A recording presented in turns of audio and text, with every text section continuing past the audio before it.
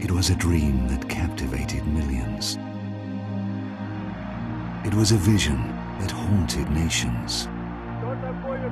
It was mankind's greatest desire until the day it became a reality.